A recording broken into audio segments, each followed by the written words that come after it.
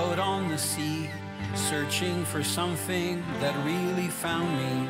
I didn't know it, but it drew me to it. Soon I was full of its passion in me.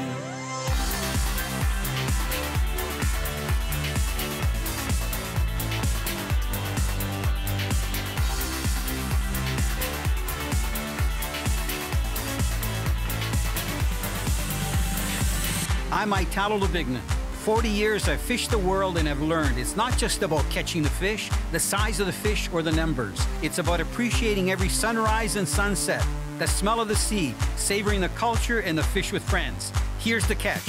It's the total experience. Presented by Bear Reels, versatile, precision, handcrafted hybrid center pins. Seabreeze boats, tame the oceans.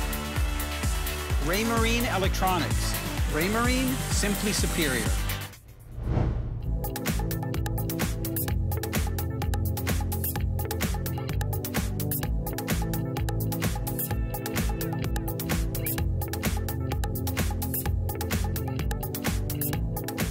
This week, I'm on a real adventure. Instead of going out on the salt water on any of the oceans, I am heading north to the wilderness of Canada. To be specific, I'm going to Labrador, which is part of Labrador, Newfoundland on the east coast. This week, we're boarding a float plane out of Happy Valley, which is in Goose Bay, Labrador, and we are heading about 70 miles into the wilderness to a lodge on a lake that's full of brook trout. Igloo Lake Lodge is in a secluded area that's part of a river system where there's lots of big brook trout. The float plane ride is amazing. When you look out the window, all you see lake upon lake and river and lakes. And believe it or not, all of them have some species of fish, either brook trout or northern pike.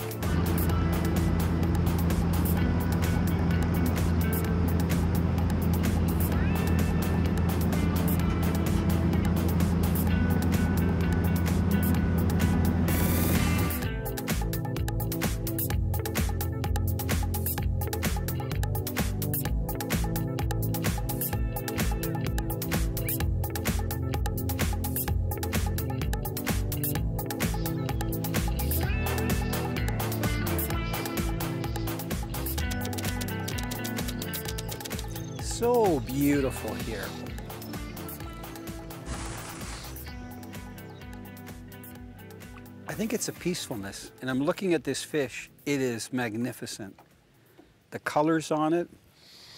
You know, brook trout are part of the char family, same as the Arctic char and the lake trout.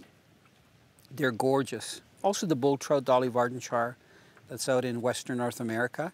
Look at how bright those fins are.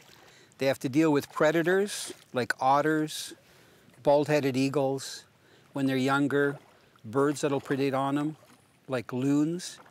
For them to reach this size is amazing. Okay, we're gonna get it in the net. I'm just gonna guide it in for you. He's, yeah, he's got lots of, lots of energy. What a beautiful fish. Look at how brilliant they are. Can you see the colors? Look at these halos, the vermiculations along the back. Beautiful head, I want to give it a kiss. see if I can get that hook out. You know what, Travis, I'm gonna need your help. If you can just grab it, it's barbless, it should fall right out. That's a beautiful male, he's got a high back. Look at the nice white marks on the fins. And I'm gonna extend him out and he's gonna swim away so beautifully, look at. Once you hook a brook trout, they normally don't jump out of the water, they just dogfight and they really scrap on the surface. Because of the single barbless hook policy, you always have to have tension on the line because it's so easy for the fish to throw the hook. Here at Igloo Lake Lodge, they have beautiful nets that almost look like a cradle. So when a fish is landed, it's not in the bottom of a hoop net. It actually lays straight, which means less stress, very easy to handle them, and of course with a single barbless hook, very easy to release.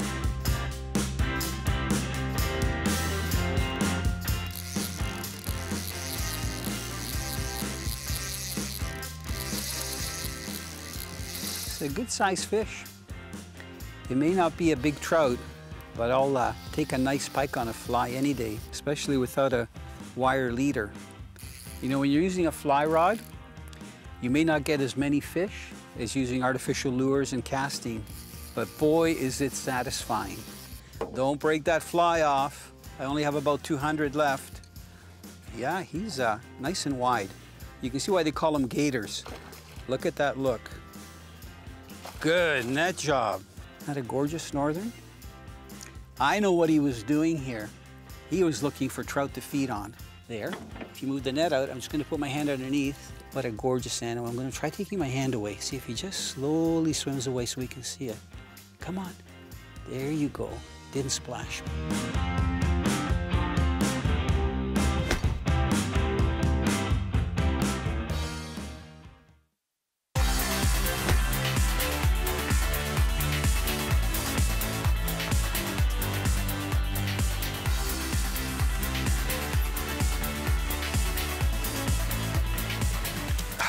nice head shakes. This fish is coming right at the boat.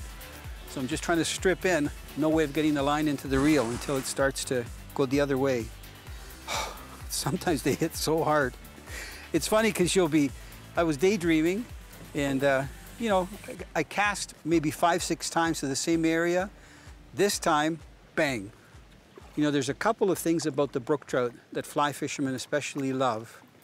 One is their colors. They're just, they gotta be one of the most beautiful trout, even though they're really a char. And two, they're ideal to get fly fishing. It's almost a shame, you know, that to use artificial lures for these fish. And here at Igloo Lake Lodge, it's fly fishing only, live release. This is a really nice female. Tons of power. That she's hooked beautifully. Man, you got a long reach. That's awesome. What a gorgeous fish. You know, if you're, if you're planning a trip to Igloo Lake Lodge, take really good care when you're handling the fish. Try to keep them in the water. The guides do a great job. What a beautiful fish. Can you hold it up one more time so they can see it? It might swim out of your hands and that's okay. Gorgeous. She's got such a thick back. What a beautiful specimen. That would be a fish of a lifetime for any passionate fly fisherman that's looking for a big brook trout. Beautiful. Okay, I'm gonna take the net away. It's not gonna take long. What a gorgeous fish. Beautiful.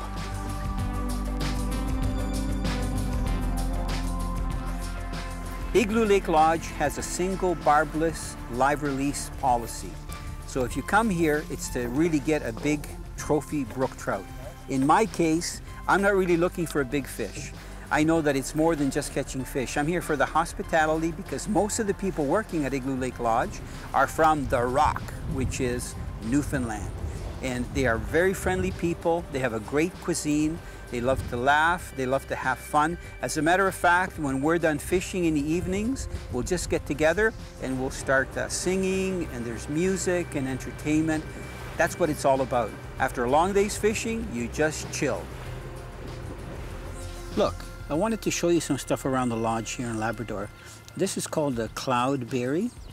Um, the locals call it a bake apple. They're actually very good to eat and they grow all over. And over here we have red currants. See the shape of these leaves? See all the currants here, here? Look at all the red ones here.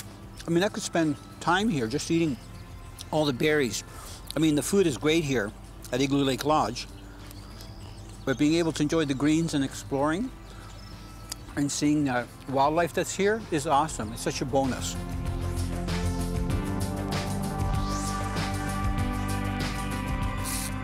Nice when He hit right by that grass. You know, when you come to Labrador, the lakes have so many big boulders in them because they're really expansions of river systems or uh, tributaries that eventually go into the Atlantic. Come on, you, this is a big fish. You know, at Igloo Lake Lodge, you can stay in rooms right in the main lodge, or you can stay in their cabins. They have a nice lounge with beautiful fish mounts that show you what you're going to be catching when you go out. There, I think I've, yep, almost. Good job. Boy, you did a good job on that fish. Look how long, oh, that flies out of its mouth, perfect. You know what I'd like to do on this fish is take a measurement on it. I know you have a tape measure. I can hold the net while you get it. I'm going to put the rod away. Can you get in there to measure? Just to get a rough measurement. It's almost the length of the bottom, the bottom of the uh, net. 21 inches. 21. What a gorgeous brook trout. You know, it's worth, I would fish all week to get a fish like that. Here you can do it in a matter of hours at Igloo Lake Lodge. Okay, I'm gonna suspend the net. Let's see if they can see it nicely. I'll actually use the net to help you. Look at, what a gorgeous fish. I'm gonna lower the net and it's gonna disappear. It's giving you the wave.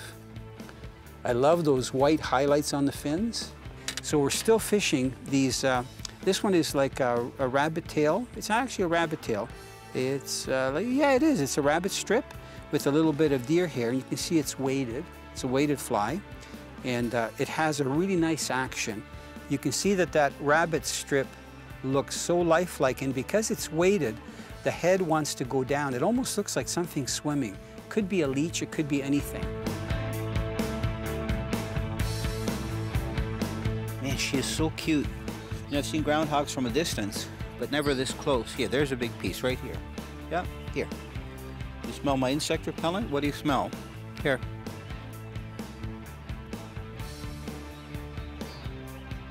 You're a good girl. You like bread like I do, don't you?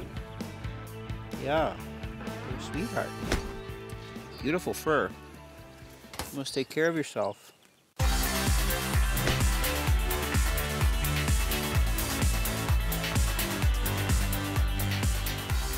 We've got a beautiful morning this morning.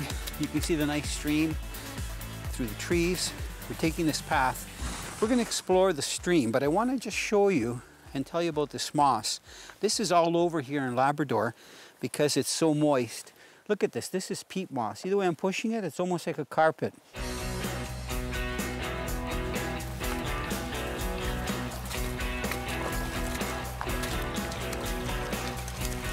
It's a baby. Babies are okay. Nice little brook. I'm gonna wet my hands. Hopefully it won't flap around too much. Back home, that would be called a fry pan brook trout.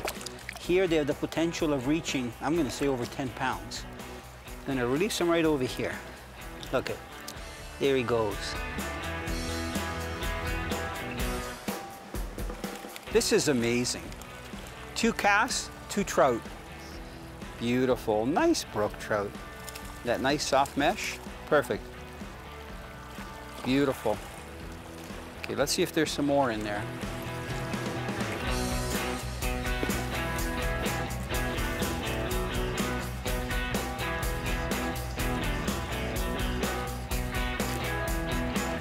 Come on, stay on. See if I can land this one just by the rocks here. It's a little bigger. You know, we're not getting the big trophies that we were getting out in the lake. But these guys are so much fun and the environment is so beautiful here. I can't imagine having my three weight here and fishing for these guys. Look at beautiful trout. I want to keep it in the water. There, there, and come here, wet my hands. Look at, isn't that a beautiful brook trout? I mean, back home where I come from in Ontario, Canada, that would be a really nice brook trout. And you can see that fly. Look at how iridescent it is. Just came out, and there it goes. There's so many places to fish here. You know, we're fishing this pool. You could spend all day fishing one pool, but if you look downstream behind me, look at, there's another pool there. Then on the other side of that big rock, there's probably another pool. You, you could spend, you know, days here. Igloo Lake Lodge is only accessible by float plane, and it has a main lodge that houses the dining room, kitchen, and a nice lounging area. There's also single rooms in the main building, and there's also cabins. The nice thing about being at Igloo Lake Lodge is that from there, you can go out on the lake and fish Igloo Lake, and then from there you can also access three or four other lakes by boat, and you can fly into many other lakes that are all in the area. I love to stream fish as well, and there are many streams and brooks that go from one lake to the other, and most of them have trout in them at different times of the year. You know, being a forager, even walking here on the trail, I'm spotting some white berries. These are mint berries. See, there's a couple here. There's one there, one there. You know, when there's a lot of them and you find a cluster and they're all ripe, they actually smell the air. They taste like mint. So I'm just gonna pick one off here. Nice uh, breath freshener. You know, it almost reminds you of a Tic Tac. Look how tiny it is. Mm, mm, mm. That tastes good. Just like a mint.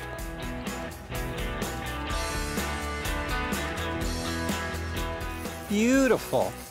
Nice quiet run. Come on out of those shadows we can have a good look at you. Mr. Trout, do you love to fly fish? Can you imagine coming to Labrador and hooking these fish all day long? You can switch from boat fishing to stream fishing like this. The number of lakes that you can explore here besides the big lake, beautiful. Okay, swing them over here, Travis. Well done. Beautiful. It's nice that we've got this nice net that we can observe the fish while keeping it in the water. Look at, isn't that a beautiful brook trout? I kind of have inside this. I'm trying to show them off to you while keeping them in the water. Isn't that gorgeous? Brilliant. That fly is just in the edge of its mouth. It should just pop out. Come here. Pop out. It's barbless. There. Beautiful details. Look at the spots on it. If I turn it one way, you can see the colors are almost like a lake trout. Turn it the other way, it's like so iridescent. And these beautiful highlights that they have. I think they're just a nice fish. I'm gonna just leave them out of the net. Watch, is he gonna go slow or fast? Oh man, this is beautiful. Woo! Perfection. Closed captioning brought to you by Leguano, natural barefoot technology for every adventure.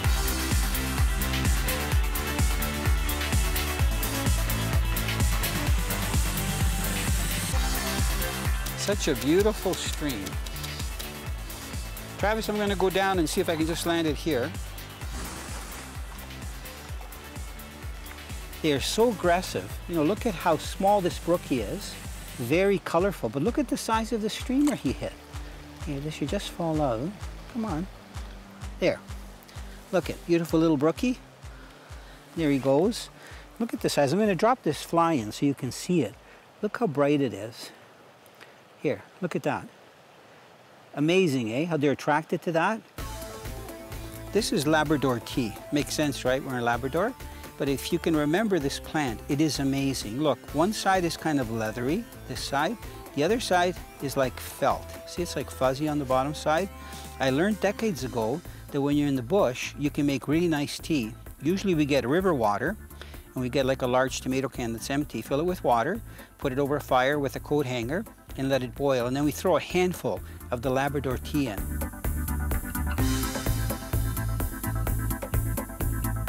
Brook trout are probably one of the most famous fish to get with a fly. Two reasons. One is because they're so colorful, they're beautiful, but the second one is that they're extremely aggressive. And they'll take topwater flies, dry flies, and uh, flies that look like mice and other small rodents, and they'll also hit subsurface flies. You control for them, but I love to cast for them with a fly rod, especially when you see rising fish or casting to shorelines and points. Yes, there was one right there. See if I can just bring him into the shallows again, Travis. We're gonna save the net. We don't want that net to get too soaked.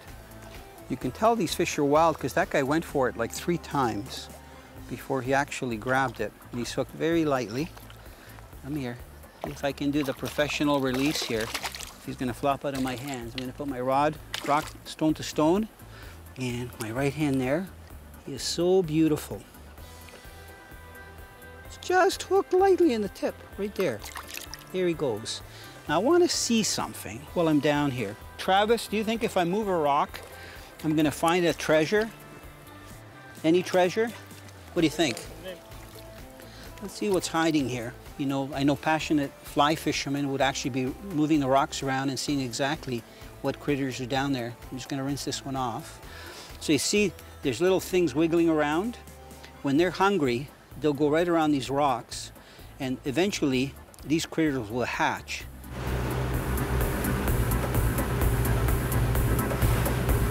The man to my right is Jim Burton and his father, Vince Burton, who was also here, he just left a little while ago, established a few lodges in Labrador.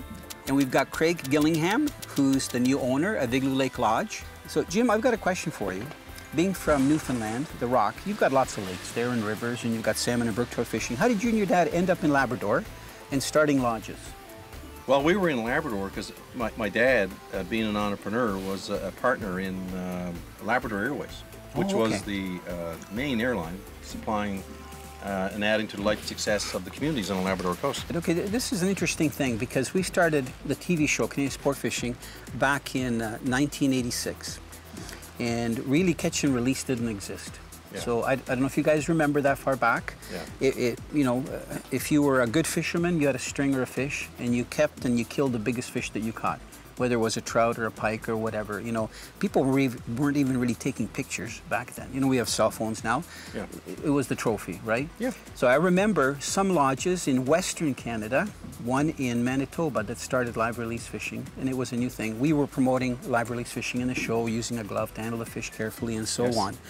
So when you made that step, because I know sometimes, you know, you've got pros and cons. You've got people that come to lodges because they want to take fish home, right? And they want to take a big fish to mount. Yes. And so you're eliminating that, that audience, if you will. Yep. But on the other hand, you're going to have a better fishery. So how did you make the decision to go live release and a single barbless hook? Yeah, you know that's a great question. We we looked at it long term. So you know what's best uh, for us and, and, and to promote the uh, the industry long term, and to us it was a renewable resource. You know, uh, uh, putting the trout back and practicing a quality release, not just a release, but Yeah. you know so. Uh, educating all our staff on the uh, protocol when it comes to releasing uh, the brookies and the salmon, uh, and for that matter, the northern pike. So, uh, being a renewable resource and looking at the payback, um, we could see huge dividends, uh, you know, within a decade. And uh, yeah, the, the rest is history. I don't know um, if you do any kind of, I'm not going to say training, but I don't know how you pick your guides. How do you pick the guides here? Because you need people that are, are people friendly. They got to Yeah. have, they got to be good natured and also be intelligent and know about fishing and stuff. All of our guides here, they're, they're very passionate for what they do, very experienced, very knowledgeable, and, and just take their jobs very seriously.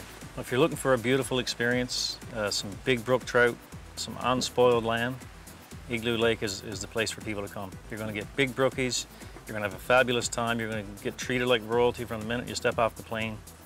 You're just going to have an amazing week.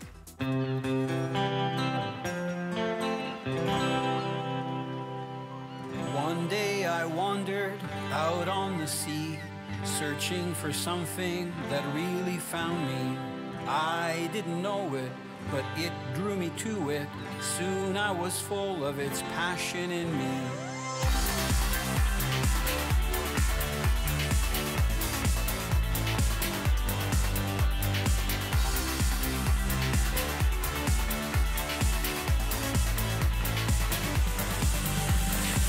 I'm Italo Labignan.